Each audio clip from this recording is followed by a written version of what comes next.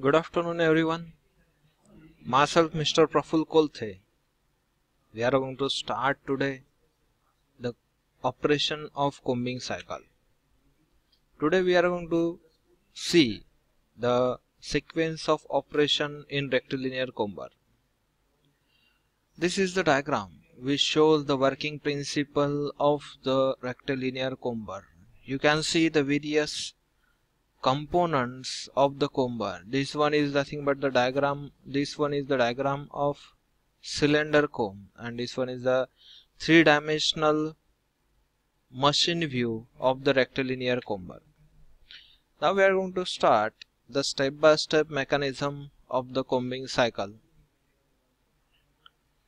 The first step in the combing cycle is feed roller S. Moves the lap sheet W forward by a small amount that is uh, 4.33 to 6.7 mm while nipper Z0 and ZU are held open for the feeding purpose. This step you can analyze from these both diagrams. The second step in the combing cycle is upper the nipper plate Z0 is lowered onto cushion plate ZU so that the fiber are clamped between them. That is nothing but this particular cycle we are calling as a nipping. And this you can analyze from this particular diagram.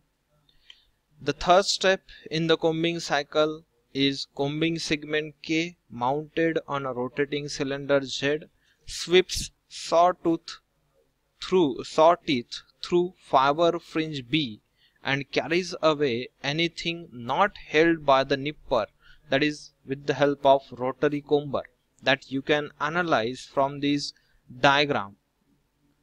Then the next step with respect to the combing cycle is nothing but the opening of the nipper again and during opening it moves toward detaching roller A that is called as a nipper forward movement. You can analyze this particular step with respect to this diagram here you can say that the uh, here you can say that the nipper movement is going to be forwarded and backwarded with respect to the movement of that particular nipper.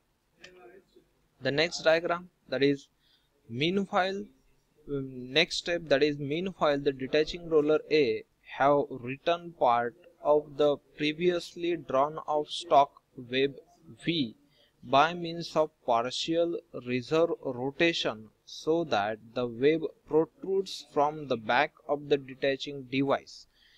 This is nothing but simultaneous movement for the joining of these two segments of the web so that the continuous lap you can uh, sorry the continuous web you can uh, form with uh, after the combing cycle in the course of the forward movement of the nipper the projecting fiber fringe is placed on the return web V that is called as a piecing.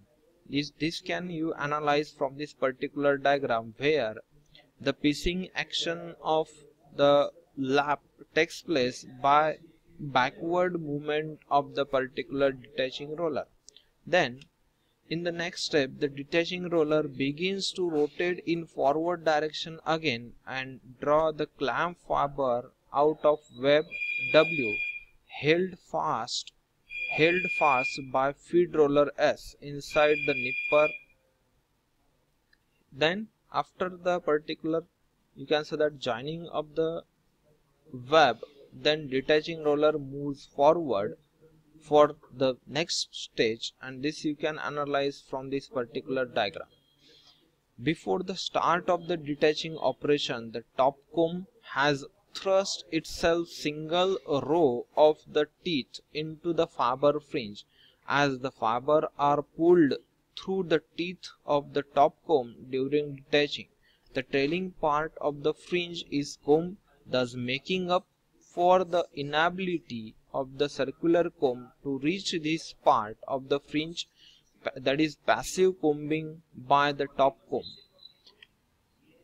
as the nipper assembly is retracted the nipper open the next feeding step the top comb is withdrawn the new combing cycle begin after the end of this this is you can say near about the completion of one combing cycle one of the extra step with respect to the cleaning of the comb is to contrary the movement of the other part the combing cycle rotate continuously.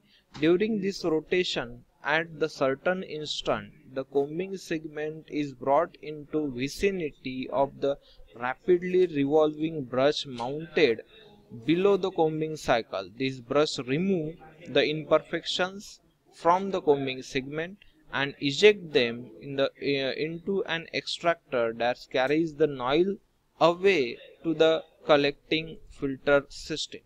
This is you can say all the things related to the combing cycle. Thank you very much